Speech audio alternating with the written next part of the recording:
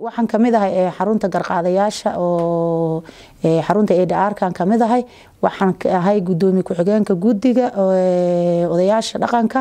Dumarkaas horta waxaan ku caawiyaa kow horta inaan tuso yani meesha oo dacwadaha oo arimahooda quseeya inaan tuso.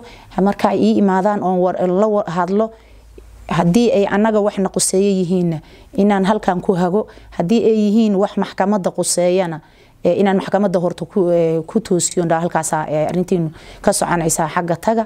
Markaan soo noqdo marka anaga waxina quseeya markay yimaadaan oo dumar ay ii yimaadaan koo waan soo dhaweeyaa waan la hadlaa xoogaa biyo qabow baan u shubaa qaybbaa caraysan markay kuu imaanayaan xoogaa hadalku xataa dhib ku yahay oo ooyin iyo wax wadaan waan dejiyaa waan u sheekeeyaa biyo qabow baan u shubaa waa fadhiisiyaa waan la sheekaystaa markaan la sheekaysto ii sheegaan waxay ka cabanayaan ay ka cabanayaan waxaan u sheegaa in wax kasta ay ka cabanayaan yani loo fulinayo oo loo sameynayo oo laga caawinayo laakiin waxaan weydiiyaa inuu qofka hortiisa odayaasha intaan dhex fariisiyo uu codkiisa ka dhiiban karo iyo inuuna ka dhiiban karin qof baqaya uu yahay.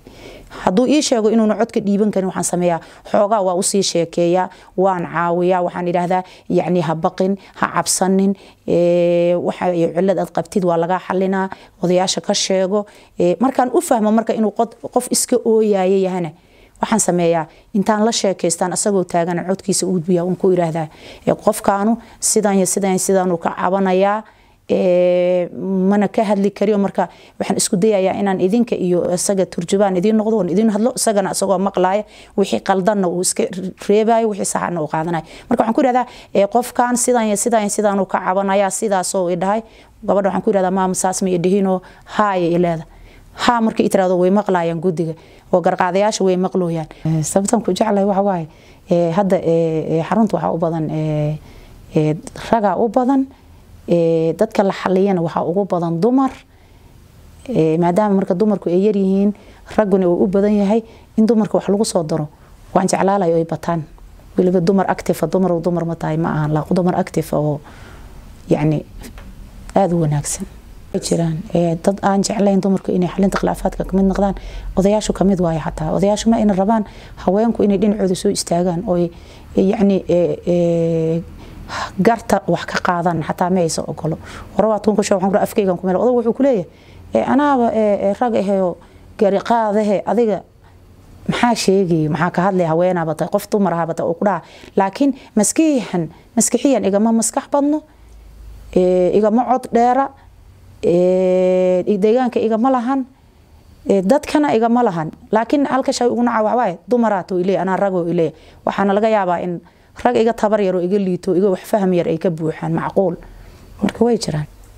Horta waxaan u arkaa waqtigii inuu isberdelay oo jaahilkii waqtigi xilligii jaahiliyadda laga baxayo oo dadkii wax fahmayaan ayaanu arkaa. Kaana ee berigii horena cariirigi jiray faham la'aanu ahaay faham la'aanu ahaay gabadha intay raggu qabto way qaban kartaa meesha wuxuu sameey way sameyn kartaa.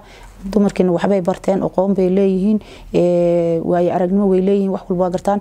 Dumar garyaqaanahoo yacni odayaasha hagtooda intoo nabadoonahoo malaaqyaahoo ugaasiyahoo aajiro laakiin dhaqanka marka hore sidaa naga dhigay laakiin hadda waan soo fiicnaanaynaa insha allah.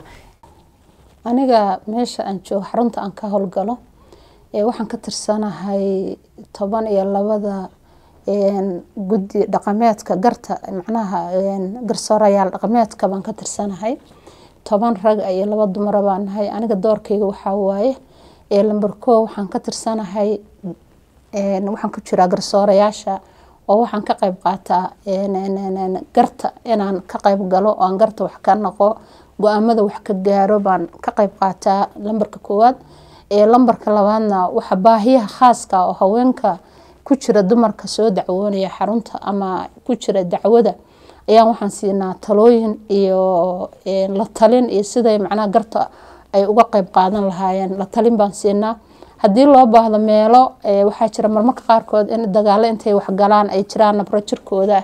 Aan badnayn raggu meesha aan arki karin xitaa anaga waxaan sameynaa inaan soo fiirino sawir meel ka soo qaadno soo cabirno. Marka arrimaha haweenkana si khaas aan u qabanaa guddigana waan ka tirsanahay oo garta miiskan fadhiista waxa waaye waa ka hadlan sababto waxa waxyaabaha garaha lagu qaado meesha waxay u badan yihiin. Waxaa jira dumarku waxay soo dacwoodaan qeybo badan bay rag ka soo dacwoodaan. Haddii ifan uu jiro ninka ama hadal xumo maaragta uu ku hayo way ka soo dacwoodaan. Haddii xagga nolosha biilka carruurta ku dhibaataya way ka soo dacwoodaan waxaa jira kuwo intii iska tegay oo iyagoo qaba dumarkii aan biil u soo dirin aan la soo hadlinin oo degaano kale jira oo intay nala soo xariiraan markay yimaadaan aan wacno oo markaas dumarku macnaha ma yaqaanaan xaquuq ahaan diiniya waxay leeyihiin miyuu yidhi? Way yaqaanaan. Example oo kaleeto marka labada qof dee sharci ahaan la isugu guurinayo dumarkan xaquuqay leeyihiin raggana xaqay leeyihiin labadooda dhinacba xaquuq bay leeyihiin. Marka dumarka markay ninka ay la joogto waxay xaq waxay ku leedahay nolosheeda waxay ku leedahay badqabkeeda inuu ammaan iyada macnaa jir ahaan u hesho in biilkeeda ay hesho inay hooygeeda hesho inay dad intaa way ogtahay waxay kaloo leedahay lacag la yiraahdo meher oo oo dumarka ninka uu siinayo xaq ay u leedahay oo diinteena ay siisay. Hadda runtii markaa fiiriso xarunta in haweenka iyo carruurta loogu adeego hadeer waa la qabta sababta waxaa waaye waxaa joogta gabar looyarada waxaa jirta qol loogu talagalay dumarka in lagu soo dhaweeyo lagu wareysto lagula taliyo. Marka runtii in kor loo qaado aqoonta garsoorayaasha xagga human rightska iyo iyo midda child protectionka khaas ah iyo waxyaabahaas in aqoontooda kor loo qaado baan ku talin lahaa garsoorayaasha. Marka waxay noqon kartaa xaruntana hadeertaan sbacekeedii waxeeda loo hagaajiyo guri qol gaara dumarku leeyihiin marka intaa in la dhaha baan ku talin lahaa. In kor loo qaado aqoonta xagga human rights child protectionka ee garsoorayaasha